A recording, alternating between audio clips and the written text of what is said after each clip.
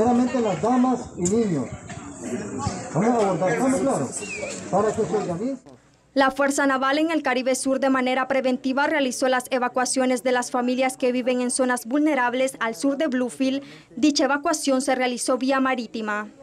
Ancianos, niños y personas con discapacidad fueron los primeros en abordar los medios navales horas antes del inminente impacto de Bonnie.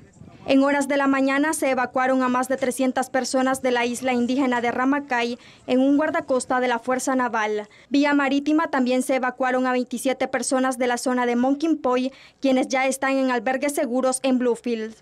Asimismo, muchas familias tienen sus planes familiares para el resguardo ante la amenaza de lluvias en la zona del Caribe del país. De acuerdo al pronóstico más actualizado, Boni tocará tierra entre las 7 y 8 de la noche de este viernes. De igual manera, el presidente de la República, Daniel Ortega Saavedra, ha ordenado al SINAPRED, que a su vez ha pedido toda la información a INETER, se declare alerta verde y amarilla en todo el territorio nacional. Con información de Antonio Sujo para Crónica TN8, Xochil Espinosa.